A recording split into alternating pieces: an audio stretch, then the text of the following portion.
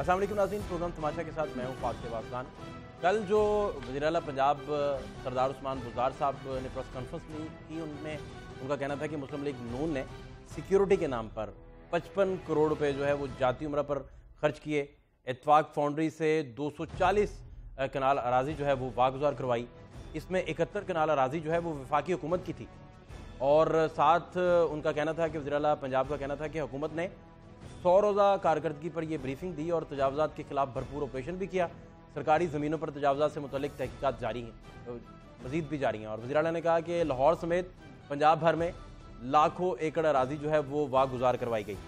اور اس کے علاوہ بہت ساری انہوں نے مزید باتیں بھی کی۔ اور ان کا ساتھ پنجاب ہاؤس میں جن لوگوں کے واجب الادار حکوم تھی، ان کا انہوں نے بڑا کھل کر نام لیا اور ان کے ناموں میں پرویز رشید صاحب کا، آصف کرمانی صاحب کا، مشاہد اللہ صاحب کا انوش رحمان صاحب کا، صاحبہ کا اور زبیر گل صاحب کا جو ہے، یہ سارے نام جو ہیں وہ بھی لیے۔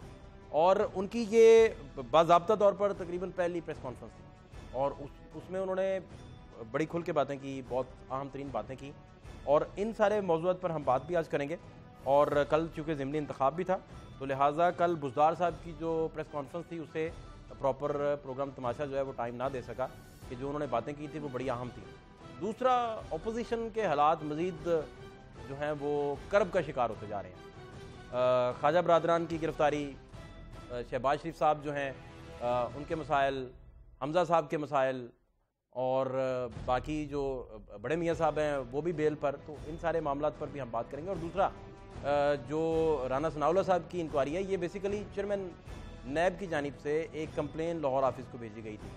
اور تحقیقات کا کہا گیا تھا کہ چیک کریں اس میں کیا معاملات ہیں، تو پھر کمپلین کو ویریفائی کیا گیا کہ فیصل آباد میں جو ایک انڈر پاس بنا ہے، اس کا نقشہ غلط ہے۔ اور اس نقشے کی غلطی کی وجہ سے الزام ہے ابھی تک جو تحقیقات ہو رہی ہیں۔ الزام یہ ہے کہ وہ ساتھ والا رقبہ سارے کا سارا سستے داموں خریدا گیا، جب وہ انڈر پاس بن گیا، اس کے بعد اسے مہنگے داموں خرید لیا بیچ دیا گیا۔ تو یہ وہ ساری چیزیں پھر لاہور کی جانب سے، لاہور نیب نے ذرائع کے مطابق یہ ایک واپس فارورڈ کی کہ یہ ویریفیکیشن ہو چکی ہے کمپلین اور اس پر جو ہے انکوائری شاید جلد ہولڈ کی جائے۔ تو یہ وہ سارے اور مزید تحقیقات بھی کی جائیں۔ تو رانا ثناء صاحب کے ساتھ ساتھ، رانا، ایک اور رانا صاحب جو ہیں، ان کے موبائل مبشر صاحب کے مسائل بھی۔ تو یہ آہستہ آہستہ حالات جو ہیں وہ بگڑتے جا رہے ہیں۔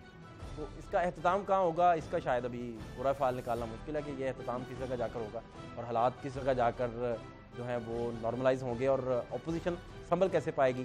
آفٹر آل کون رہ جائے گا جو ان کی ترجمانی کرے گا، ساتھ لے کر چلے گا؟ اور ان کے معاملات کو اور اپوزیشن جماعتیں ساری پھر اکٹھی کیسے ہو سکیں گی؟ حکومت کے خلاف۔ اور ساتھ ساتھ بزدار صاحب کے معاملات، کل کی ضمنی جو لاہور کی جو تحریک انصاف کے نام رہی ٹرن آؤٹ کافی کم تھا، اس پر بھی تفصیلاً ہم بات کریں گے۔ ان سارے موضوعات پر ہم بات کریں گے۔ بزدار صاحب کا کل کیا کہنا تھا؟ یہ بھی آپ کو کچھ دیر تک سنواتے ہیں۔ اور انہوں نے جو باتیں کی وہ بڑی اہم ترین باتیں تھیں، ان پر مزید بات بھی کریں گے۔ جمشید اقبال چیمہ صاحب پاکستان تحریک صاحب کو پریزنٹ کریں گے۔ بہت شکریہ چیمہ صاحب۔ شعیب الدین صاحب ہمارے ساتھ ہیں، تجزیہ کار۔ بہت شکریہ شعیب الدین صاحب، آپ تشریف لائے۔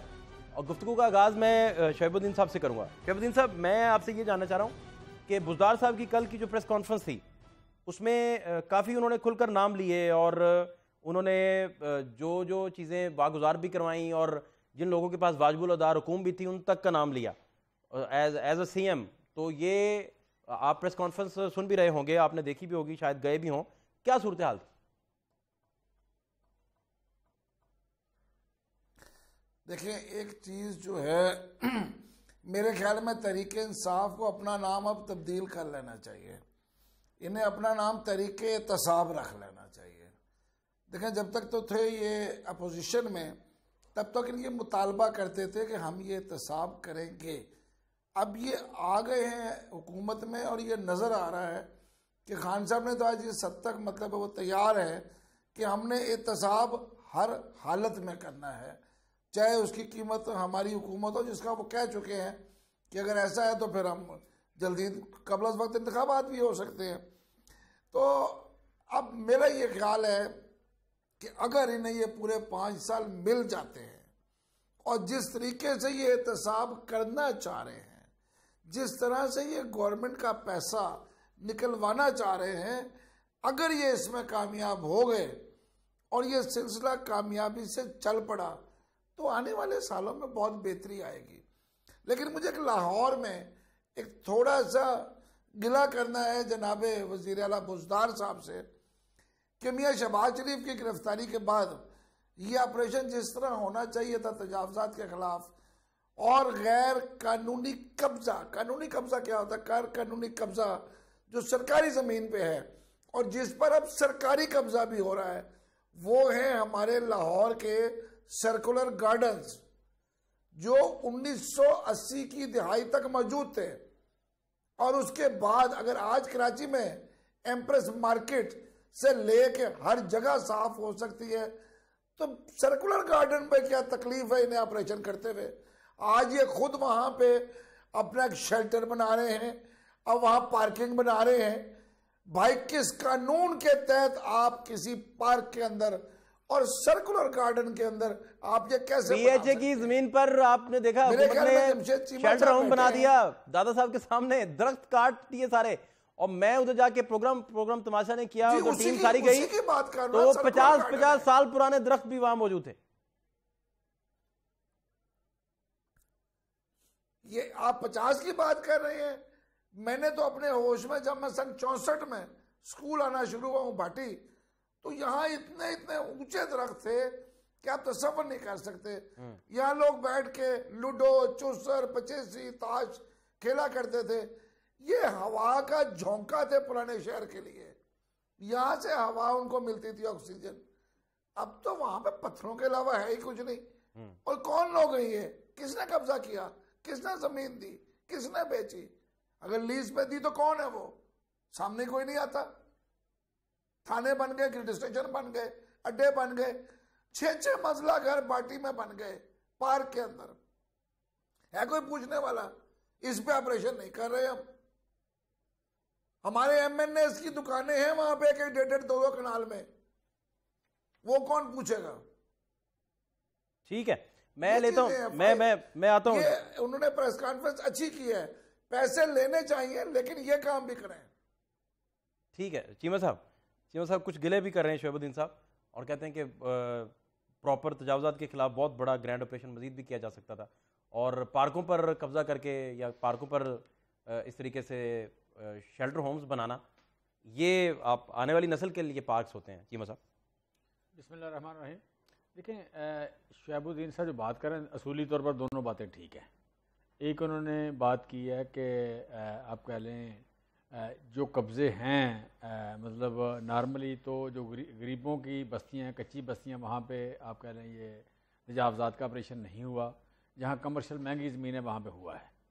اب اتنا بڑا شہر جس کا کوئی ساٹھ کلو میٹر آپ کہہ لیں ایک طرف ہے، کوئی چالیس کلو میٹر ایک طرف ہے تو آپ کہہ لیں دو سو چالیس مربع کلو میٹر ہوگا یہ ایریا اس کا، ڈھائی سو نا چوبیس سو چوبیس سو اسکوائر کلو میٹر یہ ایریا کم از کم اس کا ہوگا۔ اس میں ابھی آپ کہہ لیں لاکھوں جگہ ہیں، ہزاروں نہیں، لاکھوں جگہ ہیں۔ جہاں پہ اس طرح کے ایشوز موجود ہیں، جو شعیب صاحب بات کریں دیکھیں یہ جو جب آپریشن ہو رہا ہے تو پوائنٹ آؤٹ ہو رہی ہیں چیزیں۔ جو جو پوائنٹ آؤٹ ہوتی جائیں گی، یہ سر کام پانچ سال جاری رہے گا۔ یہاں پہ یہ جو لال ایسنس ہے لال ایسنس یہاں تین طرح کی تھی پاکستان میں۔ آپ کہہ لیں جو لیڈ تھی وہ منی لانڈر کر رہی تھی، لوٹتی تھی منی لانڈر کرتی تھی۔ اور جو تھوڑے مڈل کلاس اور اپر مڈل کلاس پاور والے لوگ تھے، طاقتور لوگ تھے مین پاور تھے جن کے پاس جرم کرنے کا جن میں حوصلہ تو وہ قبضہ کر رہے تھے۔ اور تیسرا یہاں پہ مذہب کے نام پہ بڑی، بڑا کھلواڑ ہوا ہے۔ سو تینوں کے بارے میں ڈیسائیڈڈ ہے کہ یہ تینوں کام نہیں ہوں گے اس ملک میں۔ جس کی زمین ہے، جس کی جائیداد ہے، جس کے، جس کا کوئی مرلہ ہے انچ ہے، دو انچ ہے، اسی کی رہے گی۔ اور یہاں سے منی لانڈرنگ ہیوز جو ہم نہیں کریں گے، نہیں ہونے دیں گے ہم۔ اور تیسری بات کہ یہاں مذہبی انتخاب پسندی اس کی بھی اجازت نہیں ہے ڈیفینیٹلی تو سر، یہ جتنی جتنی پوائنٹ واضح ہوتی جائیں گی، چیزیں سامنے آتی جائیں گی، یہ کام جاری رہے گا۔ اور دوسری بات جو ہے اس میں کہ یہ جو آپ کہہ رہے ہیں اس کے درختوں کے بارے میں، یہ بڑی امپارٹنٹ بات ہے بٹ اس میں ایک ایک ایشو ہے کہ یہ جو ریلوے اسٹیشن اور داتا صاحب، یہ دو جگہ اور ان کے درمیان یہ جو ایریاز ہیں، یہ ناصر باغ کی طرف دیکھیں مار روڈ کے پاس کچہری کے پاس اور یہ گورنمنٹ یونیورسٹی جو ہے، گورنمنٹ کالج یونیورسٹی جو ہے، اس کے پاس، یہ ایک کنسنٹریشن ہے باٹی اور مینار پاکستان، جہاں پہ آپ کہہ لیں کہ بے گھر لوگ زیادہ رہتے ہیں۔ یہ کنسنٹریشن مطلب آپ کہہ لیں اگر بے گھر لوگوں کی رات جو تھڑے پہ سوتے ہیں یا فٹ پاتھ پہ سوتے ہیں، ان کی اگر دیکھیں تو اسی فیصد لوگ یہاں پہ ہیں۔ سو یہیں پہ کہیں آپ کے لیے بنانا پڑے گا، ان لوگوں کے لیے کوئی شیلٹر ہوم جو یہاں بنانے پڑیں گے۔ سو اس علاقے میں ڈیفینیٹلی زمین کی کمی ہے اور سر، اس میں ایک چیز ہم گارنٹی کر سکتے ہیں، جگہ تو جو لے لی لے لی، کہ ہم درخت اس علاقے میں بھی اگا رہے ہیں۔ ہم پلان کر رہے ہیں کہ کیاریاں بنائیں، گھروں کے ساتھ جس طرح لوگوں تھڑی بنائی ہوئی ہیں، وہ چھوٹی کریں اور کیاریاں ضرور چھوٹی چھوٹی بنا کے تو ہم بیلز اور پلانٹس مطلب گھر کے ساتھ، دیواروں کے ساتھ پی ایچ اے مطلب بڑا بگ وے ہم پلان کر رہے ہیں کہ جو جو ایریا بڑا بیرن اور آپ کہہ لیں، سیمٹ اور سریے کا ایریا جو ہے جہاں پہ درخت نظر نہیں آتے گرینری نہیں ہے وہاں پہ بیلز بھی اور پودے بھی دونوں لگا رہے ہیں۔ سو ہم اس کو کمپنسیٹ کریں گے یا بہتر کریں گے اس کو۔ لیکن مجبوری یہ ہے کہ کنسنٹریشن جو تھی بے گھر لوگوں کی وہ یہاں پہ تھی۔ لہٰذا یہاں پہ گھر بنانا یہاں پہ شیلٹر ہوم بنانا وہ ضروری تھا۔ ٹھیک ہے۔ اور تیسری بات جو آپ نے کی ہے نا اس کے بارے میں جو آپ کہہ لیں کہ احتساب کریں گے تو یہ چیزیں ٹھیک ہوں گی۔ تحریک احتساب نام رکھ لیں۔ سر پندرہ ارب روپے ڈیلی۔ کی کرپشن تھی یہاں پہ۔ یہ پاکستان کے آپ کہہ لیں کہ نیب کی رپورٹ تھی، باقی جگہ بھی یہ رپورٹ تھی۔ بلیک اکانومی کہہ لیں یا پیرل اکانومی کا جو ذکر آتا تھا، وہ نارمل اکانومی کے برابر ہی آلموسٹ یہاں سے دو سو ارب ڈالر کی آپ کہہ لیں کہ ڈھائی سو ارب ڈالر کی جو آپ کی ڈاکومنٹڈ اکانومی ہے، اس کے قریب قریب کہیں آپ کی پیرل اکانومی کا ذکر آتا تھا یا آتا ہے۔ سو یہاں پہ آپ کہہ لیں کہ کرپشن اس ملک کا سب سے بڑا ایشو تھا۔ نمبر ون ایشو جو تھا، وہ کرپشن تھا۔ کیونکہ ٹاپ لیول سے گورنمنٹ لیول سے ایلیٹ سے کبھی ہائی لائٹ نہیں ہوا کیونکہ ایلیٹ اس کی بینیفیشری تھی۔ ٹھیک ہے۔ انٹلیکچولی ایلیٹ تھی یا دوسری لیڈ تھی بینیفیشری تھی۔ لہٰذا اب یہ سرفس ہوا ہے تو اس کو ٹھیک کیے بغیر یہاں پہ جو اکسٹھ فیصد لوگ دو ڈالر پر ڈے سے کم انکم والے ہیں اس ملک میں ان کی زندگیوں میں سلجھاؤ یا بہتری یا مثبت تبدیلی نہیں آ سکتی۔ نہیں آ سکتی ٹھیک ہے۔ لہٰذا اسے ٹھیک کرنا ہوگا اور ہم میں واپس آتا ہوں۔ حسن مرزا صاحب نے بھی پاکستان پیپلز پارٹی کی جانب سے ہمیں جوائن کیا۔ ہے حسن مرزا صاحب ویلکم حسن صاحب، آپ چیما سے کی گفتگو بھی سن رہے تھے۔ اور بزدار صاحب کی کل پریس کانفرنس بھی آپ نے سنی ہوگی۔ اور پہلی دفعہ انہوں نے پریس کانفرنس کی اور انہوں نے بہت ساری باتیں کی اور تجاوزات کے خلاف ہوں، وہ نون لیگ کے وہ لوگ جو پنجاب ہاؤس میں قابض ہوں، سب کے نام لے کے، جس جس کے ذمہ واجب الادا جتنی رقوم تھی، ان ساری باتوں کا بھی کہا۔ اب مجھے یہ بتائیے کہ ایک طرف تو حکومت کے سو دن کے پلان ہیں اور دوسرا پیپلز پارٹی اور نون لیگ کو جنہوں نے قریب لانا تھا، جو برج کا کردار ادا کرتے ہیں، ان کو نیب پکڑتی جا رہی ہے۔ تو اپوزیشن کیا کرے گی ان سارے معاملات دیکھیں جی جو شفاف احتساب ہے، وہ تو ہمارا بھی مطالبہ ہے کہ شفاف احتساب ہونا چاہیے، ہر آدمی کا ہونا چاہیے۔ لیکن احتساب اور انتقام میں ایک معمولی سا فرق ہے جی۔ اگر آپ اس کو عبور کریں اور انتقام کی طرف چلے جائیں تو میں نہیں سمجھتا کہ اس کا کوئی فائدہ ہوگا۔ یہ ایک ایسی روایت قائم ہو جائے گی جو پہلے تھی، جس کو نون لیگ نے اور پیپلز پارٹی نے سی او ڈی کی شکل میں ختم کیا تھا، جسے اب یہ این آر او کہتے ہیں اور ریکنسلیشن کی بات کو انہوں نے غلط رنگ دے دیا۔ وہ شروع ہو جائے گی اور پھر اس حکومت میں کوئی بھی گورنمنٹ جو آئے گی وہ سٹیبل نہیں ہوگی۔ جس کو آج نون لیگ کہہ رہی ہے کہ نادیدہ قوتیں کل کو ان کو بھی یہی کہنا پڑے گا۔ تو احتساب کے عمل میں کوئی آدمی رکاوٹ نہیں ہے، لیکن وہ ایک ہی معیار ہونا چاہیے۔ اس کے لیے انکوائری سے پہلے اپوزیشن گرفتار ہو جائے اور انکوائری کے نام پہ اقتدار حسب اقتدار جو ہے، وہ باہر گھومتی رہے۔ یہ مناسب چیز نہیں ہے۔ اس کے علاوہ احتساب کے ہم خلاف نہیں ہیں۔ وہ ہونا چاہیے جی جس نے کھایا ہے، وہ ضرور دے۔ کوئی دو رائے نہیں اس میں جی۔ ٹھیک ہے۔ شعیب الدین صاحب، آپ چیما صاحب کی گفتگو بھی سن رہے تھے، انہوں نے بڑے کھل کے بیان کیا جو آپ سوال اٹھا رہے تھے، اور حسن مرزا صاحب کی گفتگو بھی سن لی۔ اور آپ کہہ رہے تھے، یہ تحریک احتساب اس کا نام رکھ دیا جائے۔ یہ کیوں کہہ رہے ہیں آپ؟ تحریک احتساب کیوں؟ بالکل، میں یہی کہتا ہوں، رکھنا چاہیے۔ اس ملک میں احتساب تو ہوا ہی نہیں بھائی۔ اس ملک میں یہ جو انتقام کی بات کر رہے ہیں نا، یہ یہی کرتے رہے ہیں۔ اب احتساب ہو رہا ہے تو ان کو انتقام یاد آ رہا ہے۔ ان کے این آر او کے بعد انہوں نے کون سا احتساب کیا ایک دوسرے کا؟ پانچ سال انہوں نے ان کو شیلٹر دیا، پانچ سال۔ انہوں نے ان کو شیلٹر دے دیا۔ یہ تو بڑے سکون سے پانچ اور پانچ دس سال گزار کے۔ بات یہ ہے کہ لیونگ بیونڈ مینز فہد آپ کی اور میری ایک تنخواہ ہے۔ ہمارے ایک نون ذریعہ آمدن ہے۔ اگر اس سے زیادہ میرے پاس ہے تو گورنمنٹ سوال کر سکتی ہے کہ یہ پیسہ کہاں سے آیا؟ آپ کہاں سے لے کے آئے؟ آپ کے پاس کون سا وہ ذریعہ تھا؟ کون سا وہ آپ کے والد صاحب تھے آپ کے بھائی تھے بہنیں تھی جنہوں نے آپ کو یہ اضافی پیسہ دیا؟ اگر آپ کے پاس اس کا جواز نہیں ہے اگر آپ کے پاس اس کے لیے کچھ بھی نہیں ہے اگر آپ چند دن یا چند سال پہلے تک ایک چھوٹی سی موٹر سائیکل پہ لاہور میں دن دناتے پھرتے تھے اور آج آپ اور آپ کے بچے اور بچوں کے بچے لینڈ کروزرز پہ پھرتے ہیں، لینڈ کروزرز کی فوج موجود ہے۔ تو یہ دن، چند دنوں کے اندر تبدیلیاں کہاں سے آتی ہیں؟ مجھے نہیں سمجھ آئی۔ آپ مجھے بتا دیجیے فائد میرے اور آپ میں تبدیلی کیوں نہیں آ رہی ایسی؟ بالکل صحیح۔ اب، مجھے اجازت ہو تو شعیب صاحب نے شاید میری انتقام کو محسوس کر لی ہے۔ شعیب صاحب بڑے میں اچھی طرح جانتا ہوں جی کافی عرصہ ہمارے ساتھ وہ اسمبلی میں اپنی صحافتی ذمہ داریاں پوری کرتے رہے ہیں۔ کون سا آدمی تھا جی جو موٹر سائیکل پہ تھا؟ اس کا نام لے لیے لے لیجیے گیا تو زیادہ بہتر ہوگا جی۔ اب الزام تراشی جو ہے اصل بھائی آپ کو بڑی اچھی طرح پتا ہے۔ جی جی۔ مجھے پتا ہے آپ بتائیں نا۔ آپ بتائیں جب آپ کہہ رہے ہیں تو ثبوت بھی آپ کو دینے چاہیے۔ ٹھیک ہے میں اگر جو آپ کہہ رہے ہیں انتقام تو علیمہ خان کا جو معاملہ ہے وہ آپ کے سامنے نہیں ہے اس پہ آپ کھل کے بات کرتے؟ مجھے عرض کر لینے دینا جی۔